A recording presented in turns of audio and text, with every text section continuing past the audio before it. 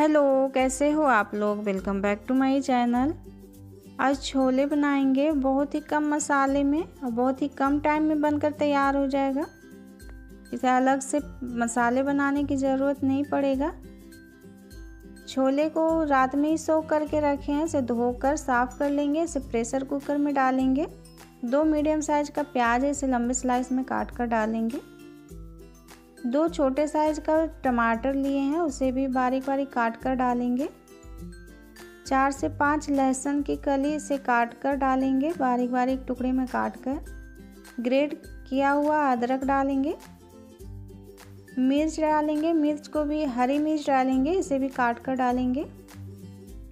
एक कप चाय पत्ती का पानी डालेंगे, चाय पत्ती को पानी में डालकर उबाल कर इसमें डालेंगे।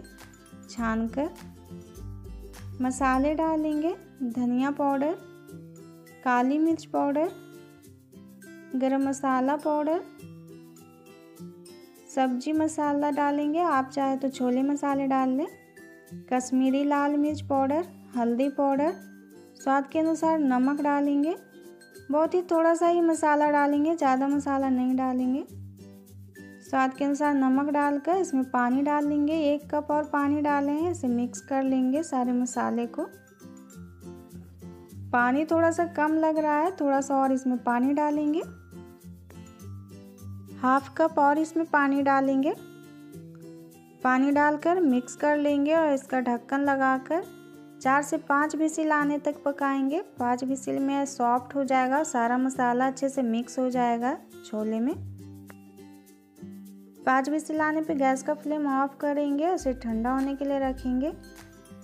तड़का तैयार कर लेंगे। छोले में तेल नहीं डाले हैं थोड़ा सा ज़्यादा ही तेल इसमें डालकर इसमें जीरा डालेंगे। दो लाल मिर्च, साबुत लाल मिर्च डालेंगे तड़के में। हींग तेज पत्र डालेंगे। आप चाहे तो कश्मीरी लाल मिर्च पाउडर भी डाल सकते हैं। छोले में पहले से ही कश्मीरी लाल मिर्च पाउडर डाल कर रखे हैं। आप चाहे तो इसमें भी डाल सकते हैं। तड़का तैयार हो गया है। गैस का फ्लेम ऑफ़ करेंगे। छोले को चेक कर लेंगे। गैस का फ्लेम ऑन करेंगे और इसमें अमचूर पाउडर डालेंगे। धनिया पत्ती बारीक बारीक काट कर डालेंगे और इसके ऊपर से तड़के को डाल लेंगे। तड़के को डालकर इसे मिक्स कर लेंगे। इसे मिक्स करने के बाद इसे दो से तीन मिनट और इसे ओपन पैन ही से पका लेंगे।